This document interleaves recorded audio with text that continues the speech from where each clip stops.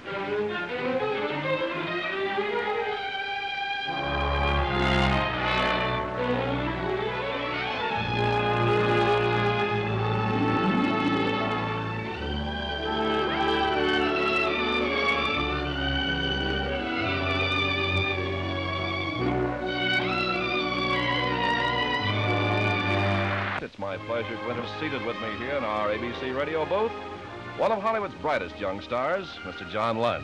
Thank you, Ken. Please excuse the croupy voice. I sound like Costello, and I don't mean Dolores. Well, outside the Pantages Theater tonight, there's pandemonium. The crowd is milling around the theater. The searchlights are roving the sky. In fact, the scene is exactly like the Collier's magazine cover of last week, a case of nature imitating art.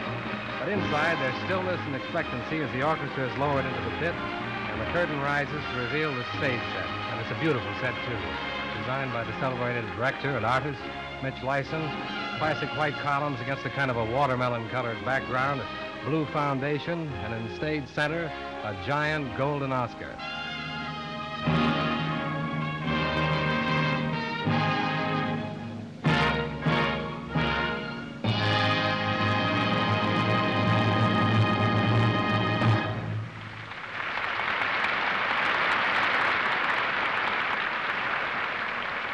Ladies and gentlemen, the president of the Academy of Motion Picture Arts and Sciences, Mr. Charles Brackett.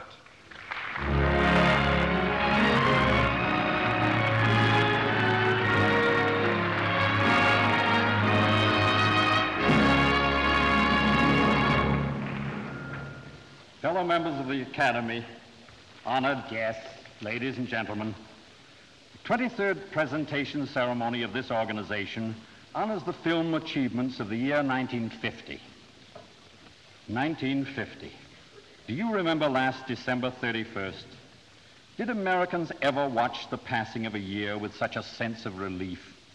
The year of Korea, the year of Malik, the year when the Russian land grab became a fact the most obtuse could not ignore, the year when young American blood had been spilled out terribly in what seemed like defeat, the year when household bomb shelters became an item advertised in local newspapers. Already the value and importance of that year has become obvious. Violent as shock treatment, it performed the same function of clarification the pattern of our American proposition emerged clear from the fogs of abuse and mistrust. Because he was being maligned as an aggressor and an imperialist, the American man in the street examined the social theory which is his birthright with keener eyes. He found it valid and generous and inescapable if the spirit of man is to survive. So much for the year in general.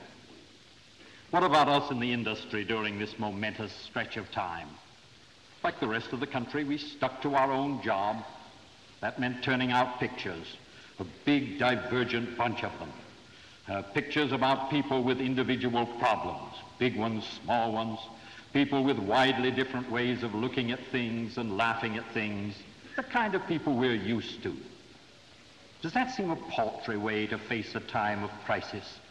a frivolous use of days whose dawns were sometimes whitened by the glow of atomic doings in a nearby state? I don't think so. I believe we were affirming our faith in the importance of individual man and his God-given rights, that we were exalting his strange talents for pride and pity and laughter. I believe we were stating anew his wonder at earth's beauty and his mystification and grief at his own folly.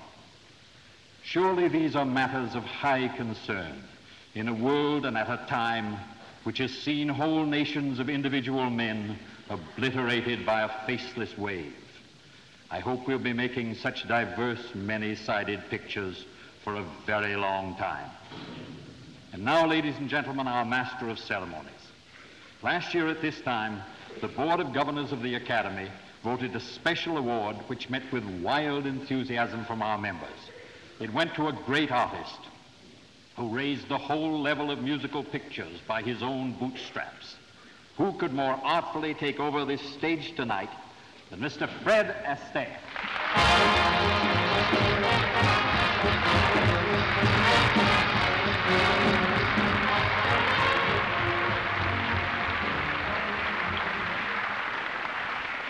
Ladies and gentlemen, I am grateful to Mr. Brackett for his splendid summary and for suggesting how right I am for this job. However, we must remember Mr. Brackett is a writer. What he really means is that I'm a hoofer with a spare set of tails. if, it's, uh, if it's any comfort, there is a reason for my being here. Last year for MC, they chose Mr. Paul Douglas, one of the new faces in films. This year they've made a neat balance. They've chosen one of the oldest faces. it, was, uh, it was quite a while ago when I first got out here. Uh, I guess the Academy Board thought that was as good a reason as any to choose an MC. Uh, anyway, I am most grateful for the honor, and I'll try, I'll try my best. Uh, Mr. Brackett has covered the important aspects of filmmaking for 1950. However, he has not touched on some of the divine flippancies during the year, newspapers carried stories on a number of weird and outlandish happenings inspired by the making of motion pictures. For instance, in January, a, a, woman near Lakeland, Florida, told her husband she was going to the movies. She came out of the show, beat up a cop, and shot a drugstore clerk. in jail, she explained the whole incident by saying, I always get a big kick out of Walter Pidgeon. here, here uh, here in Hollywood, there, there were a few like trends. Movies began to feature talking animals. It got so bad that one Boston bank is said to have withdrawn its backing on a picture when they caught the producer trying to use a human being. Yeah, 1950 was also the year of, uh, of the small dark cloud. A new medium of entertainment began to grow, and uh, experts said it was keeping more and more people at home. I refer, of course, to canasta. Uh, but, uh, enough of, uh, of looking backward. Tonight is Oscar night. The prizes are being given for 1950's most distinguished film achievements. The prize itself is a 10-inch statue worth $41, but it is fought for, prayed for, wept over. Believe me, Caesar's legions did not fight harder for the jewel of Gaul. These, these awards are arrived at by a carefully guarded system of balloting. 12,000 people took part in the voting this year. The nominations were made by the members of the Academy branches assisted by the Hollywood guilds. The final selections were voted by the nearly 2,000 members of the Academy. All ballots were mailed to the accounting firm of Price Waterhouse, where they'd been properly accounted and certified. The results were placed in sealed envelopes and brought to this stage. Opening those envelopes is the business at hand. But before we hit the glory trail, I, I have a note here on the margin. Oh, it again has to do with thank you speeches from the winners.